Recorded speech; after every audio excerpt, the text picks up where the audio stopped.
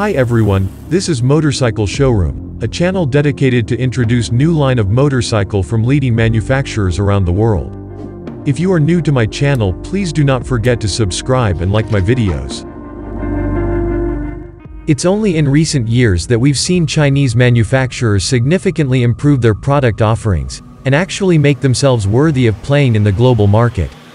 Zontes, in particular, has rolled out new models which is expected to initially roll out in the Chinese market.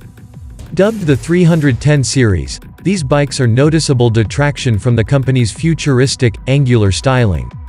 Pricing and global availability has yet to be announced, but if Zontes' existing product portfolio is anything to go by, we can expect these models to roll out in Asia and parts of Europe in the coming months.